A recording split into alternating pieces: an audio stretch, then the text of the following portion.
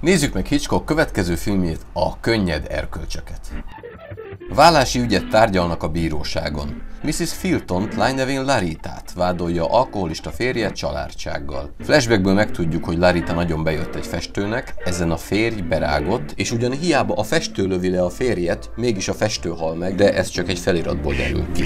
Larita lepattan a Rivierára, ahol összejön egy jó emberrel. A figura hazaviszi a családjához, ahol a férfias küllemű anyukának nagyon nem tetszik az ara. A helyzet fokozódik, ahogy előkerül a volt férj, Laritáról kiderül, hogy elvált asszony, ami ciki, bosszúból egy partin botrányt csinál, újra elválik, és a tanulság levonását ránk hagyja.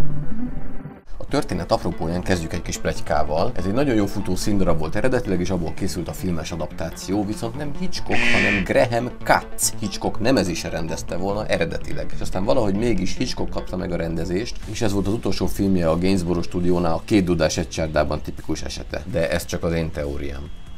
Meg kell követnem Violet Fairbrother-t, akinek a nevét ennek a filmnek a stáblistájából már ki tudtam következtetni. Az előző filmben hivatalosan egy költőnőt játszott, de én transvestitának hívtam. De nem csak én, hanem a neten más is ezt írta. Elnézést kérek, Violet egy tisztességes színésznő, 25 filmben játszott, és ebből három Hitchcock mű volt. A filmben el van szórva pár flashback, a boros üveget az többször használja ezek között az oda-visszavágásra. Kétszer is egy vizuális játékkal kezdődik a bírósági jelenet, látunk egy fehér pufnit, egy kört, és nem tudjuk, hogy mi az, amikor fölemeli a fejét a bíró, szegény rosszul lát, ezért egy okulárét használ, és ez zseniális karakterexpozíció, mert rögtön a férjet és az ügyvédet is megismerjük. Egyébként ebben a snitben, ez a kezében, ez nem egy okuláré, hanem egy hatalmas tükör, és a színészek a kamera mögött voltak, akik visszatükröződnek az üvegben. Ennek a tükörnek a mérete pedig ekkora volt, hogy mindenki a háttér és az előtér is élességhatáron belül legyen. Hitchcock is mindig megemlíti, ha erről a filmről beszél, a telefonos kisasszonynak a jelenetét. Láritának megkérik a kezét, de nem mond rögtön se igen, se nemet, hanem hogy este válaszol telefonon.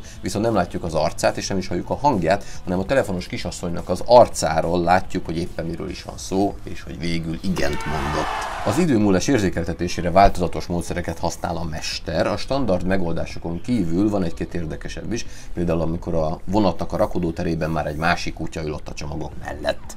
Van ez a fényképezőgép, aminek van valami jelentősége is. Kétszer jelenik meg egyszer egy gondolatként, egy látomásként, egyszer pedig a végén, amikor a lány megpillantja a polcon, is idegrohamot kap és széttöri. Aki tud segíteni, hogy mit jelent ez a fényképezőgép, annak járat sok ki. A felirat táblák azok most különösen tetszettek, tök ötletesen vannak megírva a szövegek rajta. Itt van például ez a felirat, ami önmagában megér egy külön filmet, ami ide le van írva. Egyébként Hitchcocknak van egy későbbi filmje, a Rebecca, ami pont erről szól. Van ez az utolsó megszólalás, fotózzatok vagy lőjetek, belül már úgyis minden meghalt. Hitchcock azt nyilatkozza, hogy ez élete valaha írt legrosszabb felirata. Én ezzel nem értek egyet, sőt annyit hagyd tegyek hozzá, hogy amikor erről mesél Hitchcock, akkor azt mondja, hogy ez a film elején volt ez a felirat, valójában ez gyakorlatilag a záróképe a filmnek. Itt a Hitchcock, hol a Hitchcock? Nekem már elsőre is feltűnt, hogy itt elment ez a sétapálcás úri ember, hogy ez bizony a mester lesz, de a Brit Filmintézet vitatja, hogy ez ő lenne. A nagy lépcső szalon díszlete, hiába néz ki teljesen jó nekem, a kedvencem az mégis az ebédlő díszlete háttérben ezekkel a angyalokkal.